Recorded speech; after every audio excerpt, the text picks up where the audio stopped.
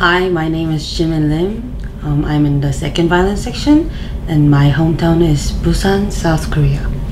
Um, the orchestras and um, chamber ensembles that I mostly worked with was in both college, um, Korea National University of the Arts, and Indiana Jacob School of Music. Uh, my parents were both um, musicians. They were violinists actually, and they were in major orchestra in Korea together.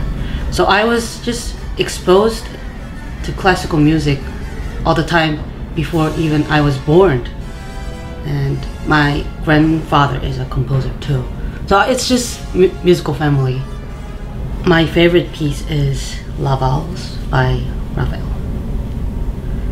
It, because in the beginning, like you don't know where it started, but and then the bass hits and then the bassoon comes in, and it's so interesting.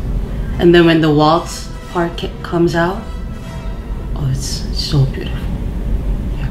Since I'm, I'm living in Nashville, I think I will be Predators. Predators.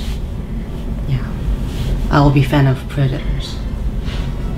This might sound funny, but I am an EDM lover, lecturing music. Um, recently, I went to Las Vegas, and I got to see David Guetta and Chainsmokers and Zedd. But and then I I think all of the music are same, and then it is founded in classical music. And I sometimes say to my friend, if you listen to EDM a lot, your rhythm gets better.